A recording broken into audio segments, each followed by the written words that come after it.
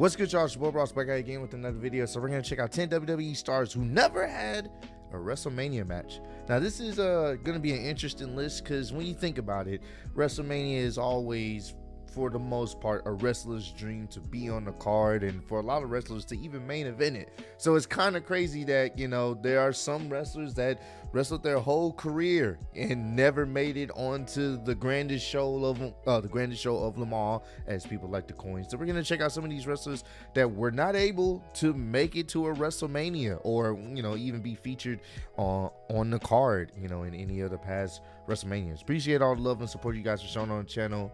Let's get right into this one. Should be an interesting list. We are on the road to WrestleMania. Yes, we are. Mm, which means we are in store for lots of sign pointing and the collective WWE roster praying to the sports entertainment gods that they get a match at the granddaddy of them all.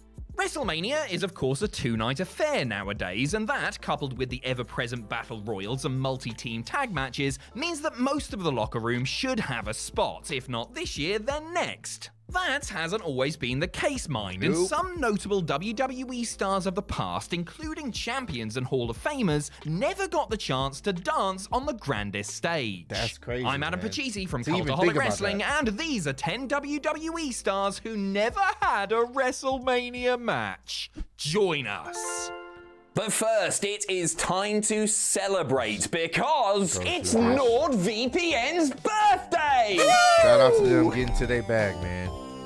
On that sweet Mania payday. London didn't make the cut for the Cruiserweight Open at WrestleMania 20, despite the rest of the division. Starting off with a two for one deal with the tag team of Paul London and Brian Kendrick, who both managed to miss out on that sweet Mania payday. Damn. London didn't make the cut for the Cruiserweight Open at WrestleMania 20, despite the rest of the division being in the match, before being relegated to the pre show Battle Royal a year later while reigning as Cruiserweight champ.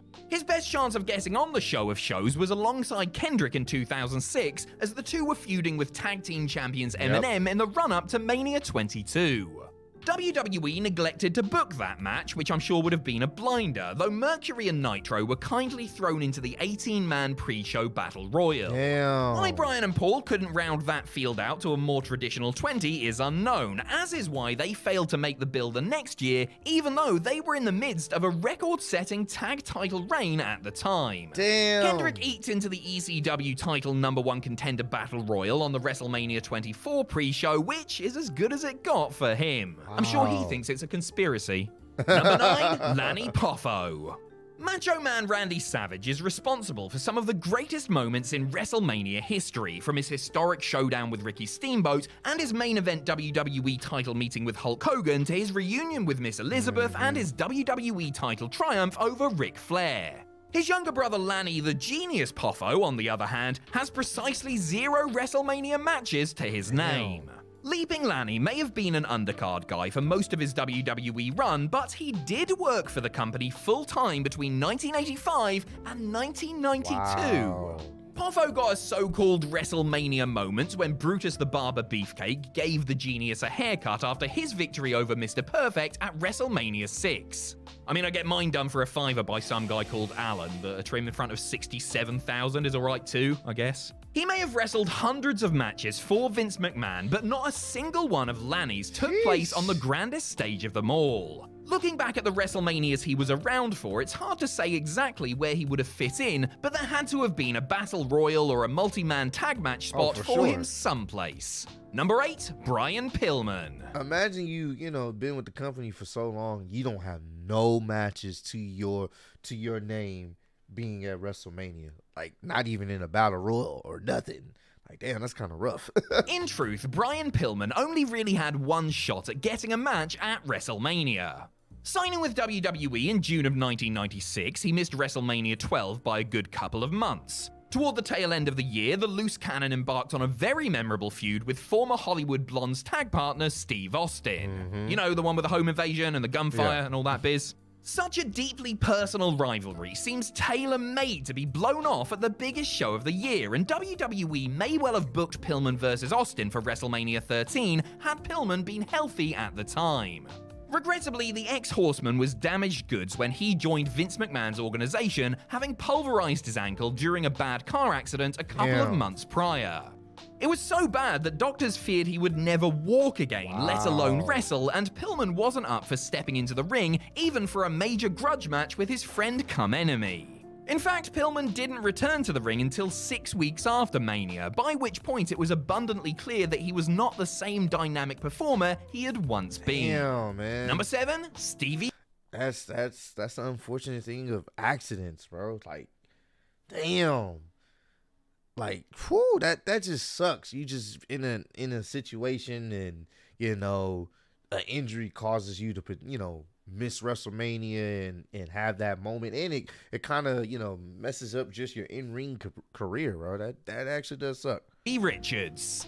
Stevie Richards is one of those former WWE stars who had a quietly great run with the company. Was he a main eventer or a world champion? No, but Big Stevie Cool managed to stay employed for nine years because he was reliable, worked hard, and could be utilized as a utility player as and when needed. Mm-hmm. Unfortunately for the former ECW Tag Team Champion, WWE didn't need him on the main card at any WrestleMania between 2000 and 2008. Well, at least not as a wrestler. Richards did get to walk that aisle as a manager, however, accompanying his right to censor brethren into battle at Who WrestleMania Right X7, Censor, as well as seconding women's champion Victoria at 19. The closest Stevie himself got to having a WrestleMania match was in 2006 and 2008 when he competed in the pre show Battle Royals. He didn't win either, in case Yeah. you were wondering. Yeah. An often overlooked workhorse, Richards was never seriously pushed as a singles act, or in a tag team for that matter, so it's difficult to imagine a program that would result in a match for him at the big dance. Number 6, Spike Dudley. A man of a couple of WrestleMania moments, but no match for himself, Spike Dudley Yeah. seemingly never found himself in a meaningful storyline or feud whenever the showcase of the Immortals was on the horizon. He certainly played a part in the epic TLC 2 at WrestleMania X7, mean, he would be there, but he wasn't actually in the match. 7. interfering on behalf of the Dudley boys and taking out Christian with a Dudley dog through a table Mm-hmm. before having his egg scrambled by a chair wielding Lita. A year later, Spike ran interference again, this time meddling in the hardcore title match between Maven and Goldust and pinning the tough enough winner for the belt. He duly lost it to the Hurricane in a backstage segment not long after. The runs of the Dudley Litter had no chance of making the card for the stacked WrestleMania 19 and was in mid card limbo when Mania 20 rolled around. Mm-hmm. Had he been a member of the SmackDown roster at the time, he probably would have gotten into the Cruiserweight Open, but his big move to the blue brand happened weeks later. The then former Cruiserweight champion was put in the pre show Battle Royal at Mania 21 a few months before he was released. Damn. Number 5 Cryme Tyme. The tag team of Wow. Cryme Tyme, JTG and Shad You Gaspard. know what? That's crazy that they never really had a match at WrestleMania. That's crazy when you think about it. Damn. Rest in peace, uh, uh Shad Gaspard, man. Bard were both pushed and popular. But despite being an overact, they never won the WWE tag titles or had a match on the company's flagship pay per view. Debuting in the fall of 2006, Cryme Tyme's first chance to get in on the act was at WrestleMania 23, but they were only used as lumberjacks for the pre show tag match between the teams of Ric Flair and Carlito and Gregory Helms and Chavo Guerrero. They did pop up again later on the show for a bizarre skit involving an assortment of legends. After being released in September of 2007, Cryme Tyme resurfaced the day after WrestleMania 24 and were directionless come Mania 25. Mm-hmm. Both members were involved in the pre show Battle Royal at WrestleMania 26, where Shad actually eliminated JTG, foreshadowing their breakup on the following episode of SmackDown. Shad was released later in the year, while JTG got one more pre show Battle Royal appearance at WrestleMania 27, after which he took to hiding from John Laurinaitis in catering. Yep. Gaspard, of course, posthumously got his WrestleMania recognition as a recipient of the Warrior Award. His heroic final acts were worth more than a thousand WrestleMania Oh, for sure. matches. Number oh, for four, sure. It's not even close. Ah, man, it, it that's it's it's a it's a sad thing that that happened to him, but he he saved he was saving his child's life, man, and that they ain't there's nothing else to you know that as a parent, you know I, I haven't reached that stage in my life, but you know as a parent.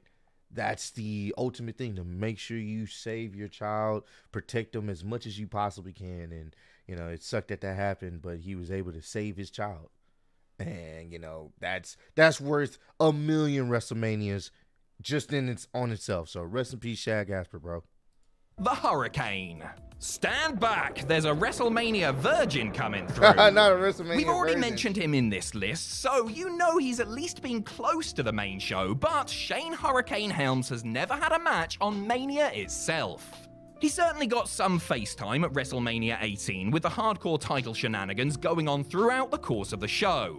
The Caped Crusader was absent at 19, notwithstanding the fact he got a famous victory over The Rock on the way there. The Great One and the Green One crossed paths once more at WrestleMania mm. 20, albeit only during The Rock's pre match backstage promo. The Masked Man was thrown into the pre show Battle Royal at Mania 21, missed out completely at 22, and then finally got a match at 23. On the pre show, that is. But at least he got to share the ring with Ric Flair, right? Come to mention it, how mental is it that the freaking Nature Boy couldn't get on the main card in 2007, yet Kevin Thorn and the Great Khali could? Number three, Lance Storm. If I could be serious for a minute, and let's be honest, I probably can't, it is a crying shame that Lance Storm never got an actual match at WrestleMania. The Never Canadian technician joined WWE following the sale of WCW in early 2001, too early for a bout at the locked in WrestleMania X7, but his upward trajectory suggested he may play a part in Toronto the following year. Mmm, not quite. Lance did wrestle on the nights, but only made the pre show portion of proceedings, tagging with Test and Mr. Perfect against Rikishi, Albert, and Scotty 2 Hotty for a match broadcast on Heat. A year later, for WrestleMania 19, Storm was bumped off the main card and put once again on Heat in order to make room for the Miller Lite Catfight Girls and a mini limp. the Miller Lite. Catfight. yep, that was. Hey man, why why we gonna put on a technical wrestler that can you know go in the ring? Let's get some women out there and have them have a cat fight in bra and bikinis. Boy, has wrestling changed? Bizkit concerts. No, honestly. Lance, Chief Morley, aka Val Venis, Kane, and Rob Van Dam must have been furious that their World Tag Team title bout was relegated, especially since it directly impacted their pay packet for the night. Storm didn't make the grade for WrestleMania 20 and actually had the last match of his full time WWE run five days after the event. Number 2, Jacqueline. Jacqueline Moore accomplished a hell of a lot during her trailblazing WWE career. Between 1998 and 2004, she won the women's title, the cruiserweight title, and mm. competed on some historic pay per views in high profile matches. She did not, however, get to ply her trade at WrestleMania. Which is very the first. Mania that Jackie would have been eligible for was the messy WrestleMania 15, where the women's title was on the line in a match between Sable and Tori. Moore herself lost the title to Stephanie McMahon on the WrestleMania 16 Go Home edition of SmackDown.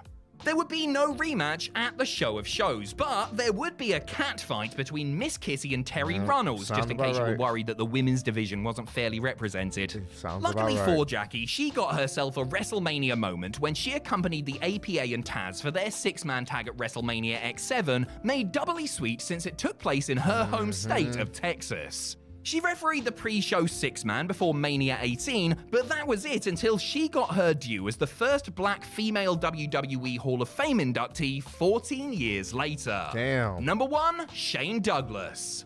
He is predominantly remembered as being the franchise of ECW, but Shane Douglas also had a couple of runs in WWE. The dynamic dude's best chance of making the WrestleMania card was probably at Mania 7 in 1991.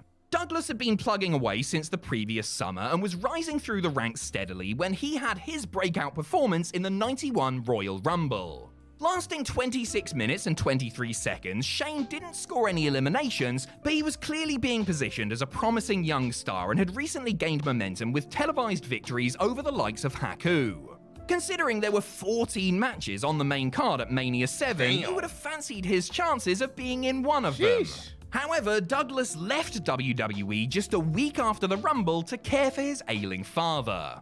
The former oh. ECW champion returned in the summer of 1995 as evil educator Dean Douglas, but any WrestleMania hopes he may have had were quashed due to a mixture of injuries and politics, and he was out the door come January 1st, 96. Damn, Back to the drawing board, Dean. Well, the blackboard, anyway. Damn, man.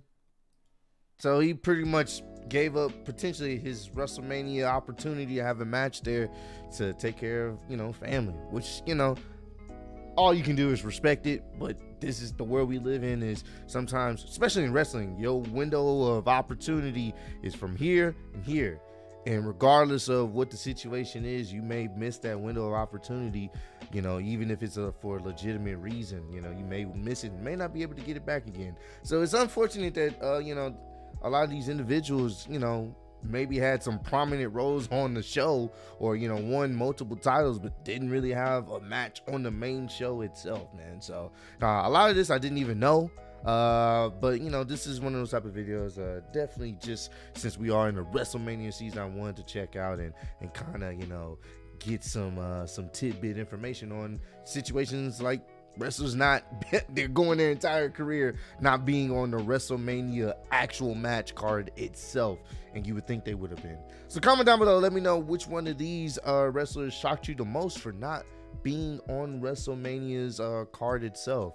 Um, and also, I don't know if you guys have been seeing the little glitching on the screen. I'm not sure what's going on. I think it has something to do with my camera. I've been noticing it. Uh, I'm recording this on OBS. So if you have been seeing any glitching on the screen, I'm sorry about that. I'm going to try to fix that for the next few videos. It sometimes comes and goes. OBS be tripping. I may need to update it. Not sure, but uh, sorry for that. Just wanted to put that out there because I've been noticing it myself because you know I, I, have the screen set up on a, another monitor just to make sure everything looks good and sound good for you guys. So uh, if you guys have noticed it sorry about that. But hey man i appreciate all the love and support you guys have shown on the channel. Road to 150k and i am still your undisputed youtube wrestling champ of the world. And also in, in a clutch I, I do this. You know what? I, this is like the second time I done messed up on my own damn outro. I'm a two belt champion. Not I don't know, man. I'm out of it today.